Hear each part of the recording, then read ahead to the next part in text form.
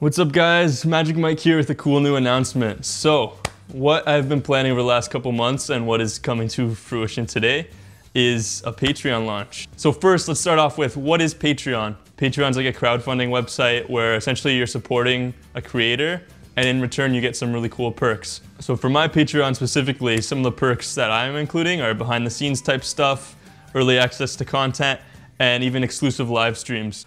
The other cool thing about Patreon is that it's based upon a monthly based subscription service. So if at any point in time you want your money back and you'd like to cancel, there are no fees or anything and you're not locked into a long contract. So next, why am I using Patreon? So as some of you guys might not realize, I actually put a lot of work in this channel. It probably amounts to about 20 hours per week on an average week. And one thing that you might not know about the way YouTube works with uh, fair use and copyright laws is that channels like mine, we can't make a single dollar off of ad revenue. I'll even show you right here.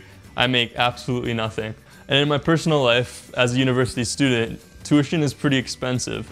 And it's something that I have to save up a lot of money for every year. What I'm hoping for with Patreon is that the more money I can make off this channel, the less hours I would have to spend doing other work outside of YouTube.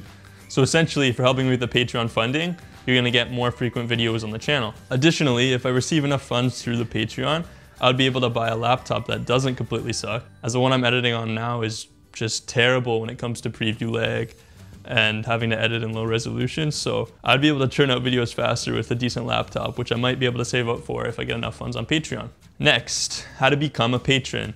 So the first thing you wanna do if you're watching this on the YouTube right now, then just click in the top right corner.